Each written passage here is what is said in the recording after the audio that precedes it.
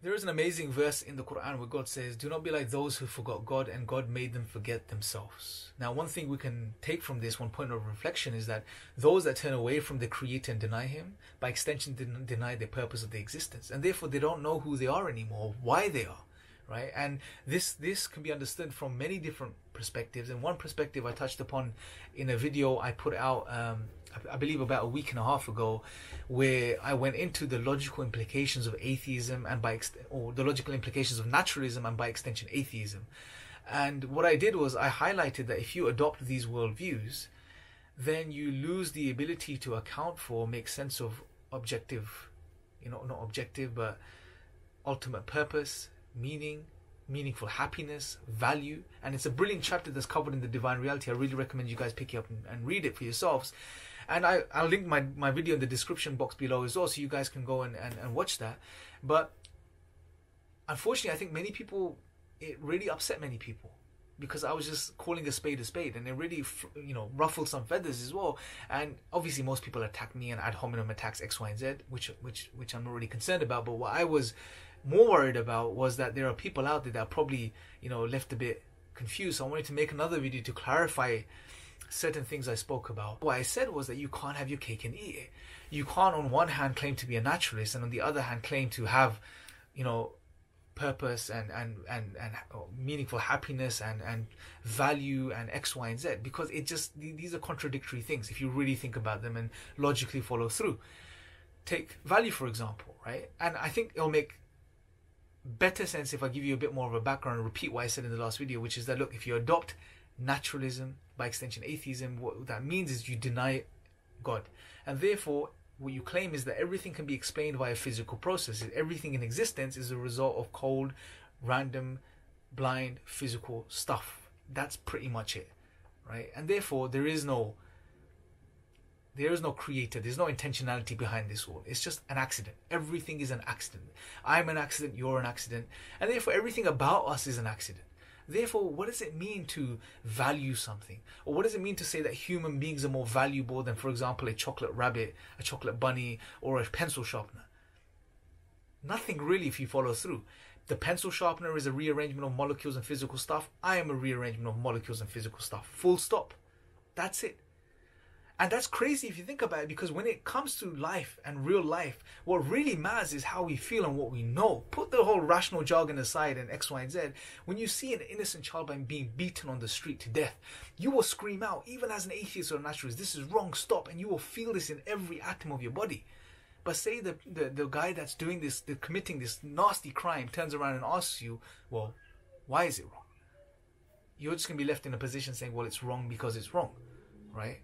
Or some other patch philosophy that you may be using, right? And I'll, I'll, explain what I mean by patch philosophy in a second. But the point being, it strips you from being able to account for the way you feel and what you know as a human being, whether that be objective morals or whether that be even value, right? Va- the value we give to certain things. Now, I know some people may use certain ideas, such as humanism, secular humanism, I'm a naturalist and a humanist, X, Y, and Z. But again, these are just terms. When you look at humanism, it's based on principles again.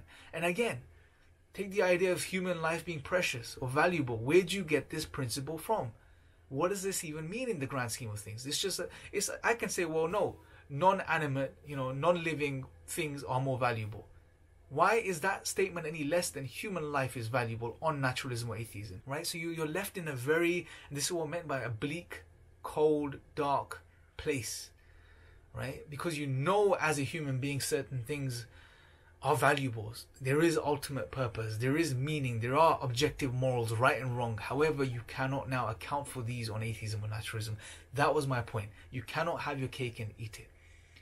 That's not saying you can't keep living in a way where you still have this cognitive dissonance and and you understand that there's a problem between these two ideas, but you carry on living. You can do this, but I would I would I would say that people that are sincerely looking and are honest, and I've realized this that there's things that things there's things that don't add up. You know, there's ways I feel and things I know which can't be justified or accounted for under naturalism or atheism, a worldview I may be currently holding on to, and those people I just encourage them to be open that maybe there is another way of life which is correct. Because me, for me personally, and I'll conclude on this, for me this is a sign, right? This for me, this is a clear sign because I believe God created us. He made us rational. He gave us rational faculties so that we can reason and we can, you know, we can engage with and, and grapple with these ideas and things and understand that there are contradictions, just so that these could be tools which lead us to Him.